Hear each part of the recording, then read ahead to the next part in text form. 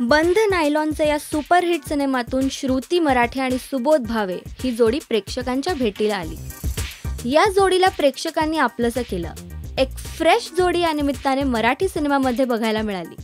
मराठी सुनेसृष्टीला ही एक चांगली जोडी मिळाली आणि ती खूप गाजली. बंधन नायलॉनचे मधून लोकांच्या पसंतीस पडलेली ही सुपरहिट जोडी पुन्हा एकदा मोठ्या पडद्यावर येत आहे.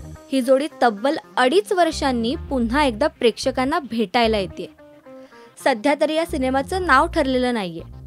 फ्रेम्स इन मोशन प्रोडक्शन यांनी या सिनेमाची निर्मिती केली आहे. आणि समीर रमेश सुर्वे या सिनेमाचे दिग्दर्शक असल्याची माहिती समोर येते.